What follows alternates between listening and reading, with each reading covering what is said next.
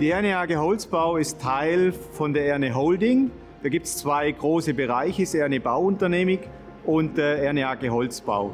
Und wir als Erne AG Holzbau verstehen uns eigentlich als technologischer Entwicklungs- und Realisierungspartner und versuchen eigentlich optimale Lösungen für unsere Holzbauprojekte zu finden. Wir stehen hier in einer der Produktionshallen der Erne AG Holzbau. Für die Stadt Frankfurt bauen wir zurzeit eine, ein riesiges Schulgebäude als Totalunternehmung äh, für 2200 Schüler. Und jeden Tag verlassen hier fünf solche Module mit 18,50 Meter Länge die Hallen und fahren nach Frankfurt und werden dort zu einem kompletten Gebäude zusammengefügt. Hier ist es auch wichtig, die Raumluft für die Schüler im Griff zu haben, vorher zu wissen, was man macht. Und wir haben im Rahmen von einem InnoSwiss-Projekt und einem BAFU-Projekt ein Tool entwickeln dürfen, um äh, Emissionen in der Raumluft besser bestimmen zu können. Das Tool ist aber leider nicht ganz fertig geworden. Und jetzt kommt eigentlich das Hightech-Zentrum Aargau dazu, wo uns genau da unterstützt hat, das Tool fertig zu entwickeln, mit dem wir fähig sind, solche Emissionen in der Raumluft wirklich im Vorfeld bestimmen zu können. Für uns als RNAG Holzbau war die Zusammenarbeit mit dem Hightech-Zentrum Aargau sehr wichtig. Sie war sehr gut, sie hat sehr gut funktioniert und ich kann eigentlich nur empfehlen, diese Möglichkeiten des Hightech-Zentrum Aargau zu nutzen und somit Herausforderungen des Marktes auch wirklich anzunehmen und gute Projekte damit zu generieren. Herzlichen Dank dafür.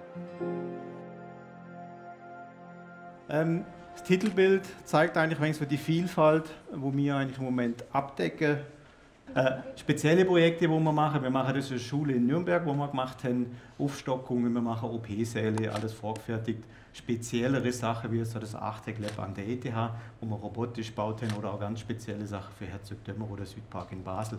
Es zeigt eigentlich so ein so ein kleines Portfolio von dem, was wir machen. Wir sind sehr breit aufgestellt. Ähm, das sind wir eigentlich nicht immer gewesen. Ähm, 1906, für die, die es noch nicht kennen, ist die Firma gegründet worden vom Josef Erne Speiser als Baugeschäft mit vier, fünf Lüt. Ähm, 1945 hat man dann äh, Fensterfabrikation und eine Zimmerei dazu gekauft und aus dem ist eigentlich der Erne Holzbau entstanden.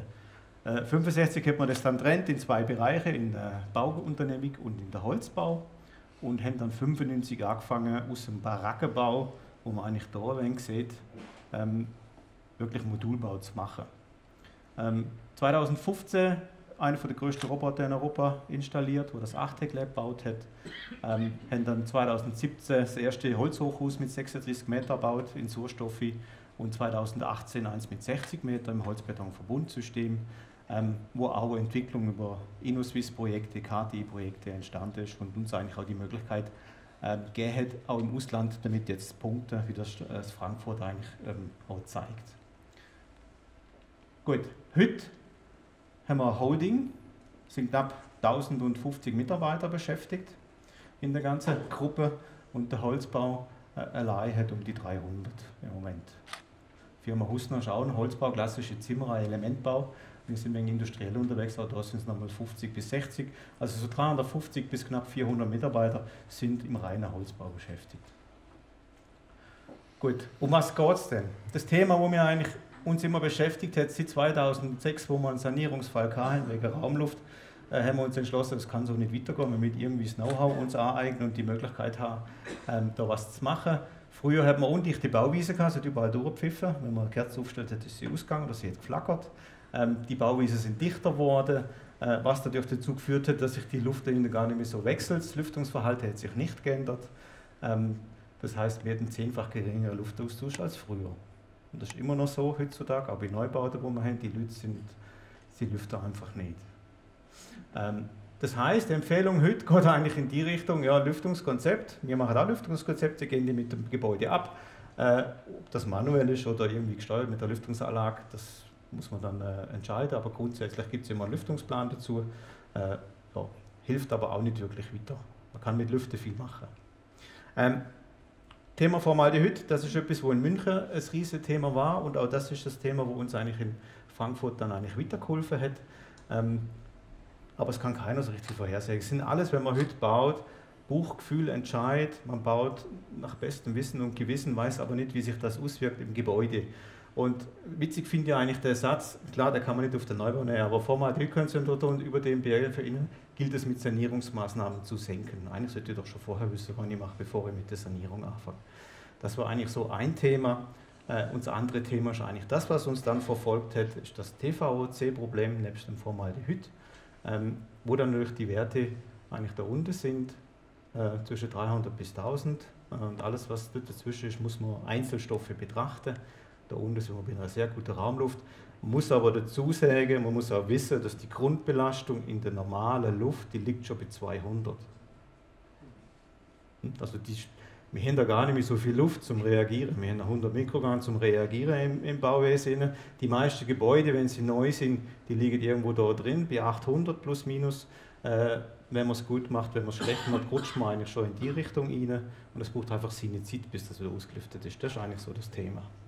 Ähm, zwei Artikel, äh, was man eigentlich heute so oder machte. 2016 mit der Schulbaut in München, die hat der Unternehmer wieder müssen komplett zurücknehmen. Er hat das Gebäude einfach nicht abgenommen. Wegen Formaldehyd. Das gleiche, das ist ein Beispiel aus der Schweiz. Äh, man hat eine Schule gebaut und einige Wochen nach Erstbezug äh, hat es Probleme gegeben, hat man saniert mit Schafwolle. Ähm, und das kann es ja nicht sein. Man, man, macht irgendwas und das hat uns eigentlich so beschäftigt, dass wir das Tool entwickelt haben, haben dann im, innerhalb vom BAFU und vom InnoSwiss-Projekt festgestellt, wir sind relativ einfach Tragänge. Oberfläche sind das Problem, war es nicht. Es ist der Grundaufbau vom Element, also alles, was im Element drin ist, wirkt sich natürlich auch aus auf die Raumluft. Das haben wir zuerst mal herausfinden. Ähm, war nicht so ganz einfach, haben wir aber geschafft. Aber dafür hat das Tool ein wenig gelitten, weil wir haben relativ viel äh, Know-how erlangt über die Aufbauten, aber das Tool ist nicht nachgekommen. Ähm, und das nächste ist natürlich, wenn man mit Holz baut, muss man wissen, was macht eine Kiefer, was macht eine Tanne, was macht eine leere Fichte im Innenraum, wenn man eine Holzoberfläche spricht. Ähm, ja, und das sind so einfach so ein paar Beispiele. Und was man auch noch wissen muss, ist, dass die Emissionen, die rauskommen aus den Baumaterialien, wenn ich die Raumluft von 23 auf 26 Grad hochnehme, um 3 Grad erhöhe, dann erhöht sich die, erhöht sich die Emission ums Doppelte. Das heißt, die Raumluft ist gerade doppelt so schlecht, wenn man nur 3 Grad hochfahrt. Ähm, was wir dann gemacht haben, wir haben das Tool entwickelt und das funktioniert eigentlich so, dass ich heute einen Konfigurator habe, ich kann die Raumgröße eingeben und ich kann da verschiedene Aufbauten auswählen, Decke, Boden und die einzelnen Wände. Und dann kann ich Auswertung machen über Woche oder über das ganze Jahr. Ähm, das ist jetzt klassisch Holzoberfläche an der Wand und an der Decke. Ähm, und dann spuckt es mir da über das Formaldehyd vom Holz, das ist ein natürlicher Prozess aus, das ist die Kurve. Die Linie da ist eigentlich die Linie, wo es das BAG vorgibt, das Bundesamt für Gesundheit und da liegen wir eigentlich glatt drüber. Ist das jetzt tragisch oder nicht, weiß man nicht, ist gesundheitsgefährlich oder nicht, weiß man nicht. Ähm, aber man liegt drüber. Und wenn man jetzt eine Messung macht nach vier Wochen, wie es in der Norm drin steht, dann habe ich einfach das Problem, dass ich irgendwo in dem Bereich miss und dann wird das Gebäude wieder abgenommen. Warte ein halbes Jahr, bin ich drunter. Ist ausgelüftet. Ne? Äh, das gleiche gilt für die TVSC. Und wenn ich jetzt hergehe, also das kann ich jetzt natürlich sagen, funktioniert nicht. Der Architekt, Bauherr will viel Holz haben, sage ich, du wirst Problem haben, erstes halbe Jahr, musst du einfach damit abfinden oder auch nicht. Äh, oder aber du sagst, ich will sowieso eine weiße Wand haben, dann gehen wir auf Gips rein, ein anderer Wandaufbau. Ähm, dann gibt es die falsche Folie, he? sehe ich gerade. Genau. Nein, doch. Gips, ah, da habe ich das falsche gemacht, dann ich die nächste Folie, aber dann gibt es eine andere Auswertung und die kann man dann gegenüberstellen. Das sind nämlich die zwei im Formaldehyd. Das ist die mit der Holzoberfläche und das ist die neue mit Form. Da sieht man die Linie, das ist alles viel wieder tiefer. Das heißt, ich sehe sofort, was passiert, wenn ich mit der Materialien umspiele.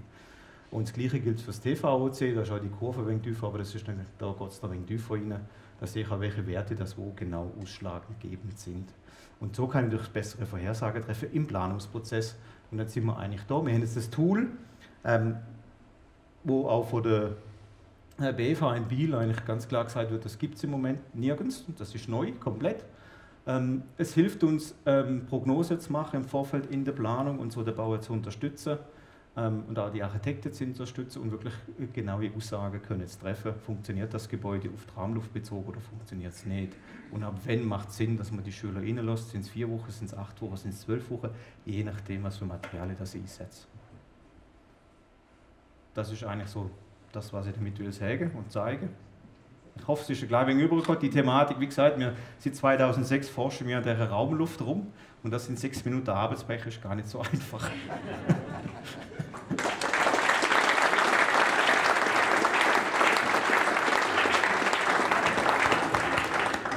Vielen Dank für diese Präsentation.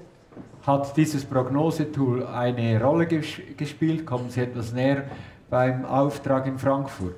Ja, das ist eine, eine äh, sehr lange Geschichte eigentlich. Wir haben leider nicht viel Zeit. Ich sage nur, sie, die Geschichte ist in München losgegangen. Äh, die, München, Stadt München ist eigentlich sehr ähm, ja, restrikt, was diese äh, Vorgaben betrifft. Und die Stadt Frankfurt hat sich in München erkundigt, mit welcher Firma die Stadt München gearbeitet hat, damit die Raumluft erfüllt wird. Und das war dann eine Bedingung. Und die zweite Bedingung war eigentlich der sommerliche Wärmeschutz mit dem Holzbeton-Verbundsystem, das auch über ein InnoSwiss-Projekt äh, weiterentwickelt wurde. Und diese Kombination Holzbeton-Verbund und das Know-how über die Raumluft hat eigentlich schlussendlich zum Auftrag geführt. Und wo wird es in der Schweiz jetzt eingesetzt? Äh, bei jedem Schulgebäude. Bei jedem? Kindertagesstätten, Schulen. Ja, der Herr Hirzauer hat es gehört. Er, er, baut die ganze Schule um. Überall bauen sie neue Schulhäuser, an anderen Orten werden Schulhäuser abgerissen. Immer dann, wenn wir nicht sicher sind, ob das so funktioniert von den Oberflächen her, dann wird das eingesetzt und dann machen die Gegencheck und dann müssen wir, ob es wirklich funktioniert. Noch eine generelle Frage. Die, die Schadstoffemissionen der Baustoffe, nehmen die generell zu oder ab oder sind sie stabil? Ich glaube, sie sind stabil. Was sich aber ändert, ist die Sensibilität der, der Leute dazu. Ah, die Leute ändern sich und die Baustoffe bleiben. Genau. Ja, haben wir wieder etwas gelernt. Ich bin aber nicht sicher, ob sich alle Leute ändern. Das ist gut. Was war der, der Herr Eggemann ist der Experte, der hat der Firma RNE AG geholfen, dieses Tool zu entwickeln. War es schwierig? Es war schwierig und relativ aufwendig. Es war eine relativ umfangreiche Machbarkeitsstudie. Und am Ende, man hat es im Film gehört, das Tool wurde nicht fertig. Man hat sehr viel Energie, glaube ich, auch in die Baustoffanalysen gesteckt. Und das Ziel oder der Sinn der Machbarkeitsstudie war eigentlich, das Tool fertig zu machen, dass man ein praxistaugliches Instrument hat, wo man eben auch äh, Klimadaten einbeziehen kann und Temperaturschwankungen, Feuchtigkeitsschwankungen einbezieht, die Baustoffbibliothek erweitert, so dass man im Prinzip das Tool wirklich in der Praxis einsetzen kann, dass man ein fixfertiges Produkt hat und das hat geklappt, ja. Und das war eines der größeren Projekte vom Hightech-Zentrum Aargau? Nein, nicht für, nein ein, nicht für das Hightech-Zentrum Aargau, aber im Rahmen von einer Machbarkeitsstudie war es ein großes Projekt. Ja. Es war kein InnoSwiss-Projekt, das Folgeprojekt, sondern eine Machbarkeitsstudie und die war relativ groß. Da gab es ziemlich viel Eigenleistung auch von ERNE, von Mitarbeitern, aber auch von der Hochschule, die das wirklich sehr äh, vorbildlich sich eingesetzt hat und auch mit Eigenleistung und sehr schlauen Ideen eigentlich das Tool vorangebracht hat. Ohne Hightech-Zentrum hätten Sie das nicht realisieren können? Da hätten wir uns auf das Know-how, das wir gehabt haben, äh, zurückgezogen.